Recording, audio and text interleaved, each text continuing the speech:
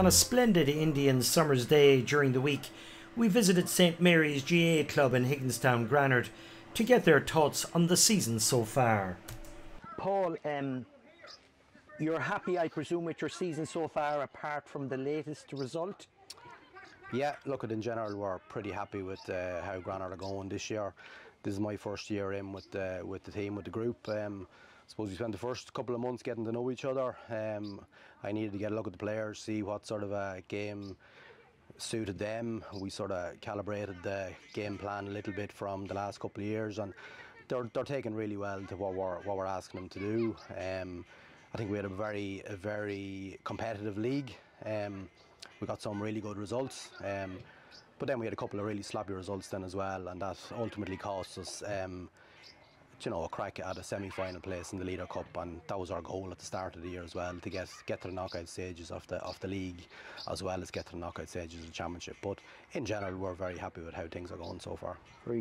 At the weekend, uh, were you surprised, or was it a case of taking the foot off the pedal? Well, it definitely wasn't a case of taking our foot off the pedal. Um, we went in with a clear, um, clear goal of winning that game. We wanted to top the group. Um, but no, it was just a, a case of uh, we met an outstanding Clonguish team. Um, they had a very good evening at the office, and we had a very bad evening at the office. So it just um, it made for a very difficult hours watching from our point of view. But look, you could not take away from Clonguish. They were they were absolutely outstanding. They were I was really really impressed with them. Um, they played some lovely football. Uh, they've great pace, they've great power.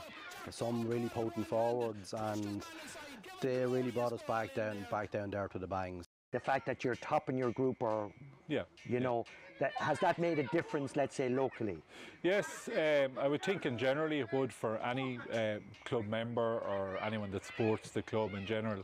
We've gone through a lot of years like i'm in my second year as chair. I done two or three years as treasurer before that. And I suppose uh, my role when I got involved with the club is obviously success. We all want success. Uh, we want to be able to give the teams, every team, the opportunities to gain that success, and that's about getting the players in the right, I suppose, frame of mind, um, getting the right management through all structures. We have a great underage setup here, which is fantastic, and it feeds into our senior team. We are, I suppose, as Paul explained a bit earlier, we're, we're a young team in general. We have older players, we have good leaders, um, but we are generally a young team. Uh, Eddie Smith, uh, full back line. Uh, Dylan Riley, half back line. Uh, Eddie, uh, how's your season gone so far? Um, so far, so good. Glad to be in the quarter final and ready to mix it now with the bigger lads and hopefully prove that we deserve to be there. Very good. And uh, can you tell us, is there much uh, is there much talk about the competition so far? Like you were top uh, at the group and then you had a, a late slip up there. Mm. Uh, feelings on that, or how have people reacted to it?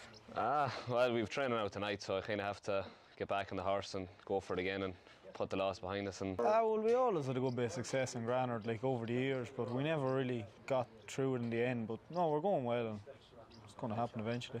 Very good. Is there any other team, either in the other half of the, the, the story that you think are doing particularly well? Yeah, well, look, at, I've seen an awful lot of games so far, and in in the other group, particularly, uh, Killoe look like they're they're cruising at the moment. They've topped their group with a game to go. Um, but yet they had a, a, bit of a misstep too.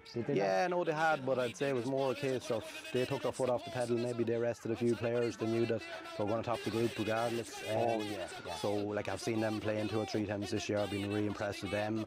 But look, at you have you have the top teams. One in York are really really hard to beat. They know how to grind out grind out games, get results when you know maybe other teams I think they have a chance of beating them. But they're, they're, they're very hard to beat. And then you have your county champions, of course, uh, Colmcille. They're coming into good form now at the right time of the year as well. So look at the, any of the teams that's left now, and um, they're going to be sticky opposition for for anybody. As their training session came to a close it was clear that this team were very united in their pursuit of success in this year's championship. Don't forget, there is continuing coverage of Longford GAA club matches when this Sunday Longford Slashers take on Clonguish in the Longford Senior Hurling Final. You can see it all on Clubber TV at 3.30. This is Mick Conlon wishing you all a happy viewing weekend from St Mary's GAA grounds in Granard, County Longford.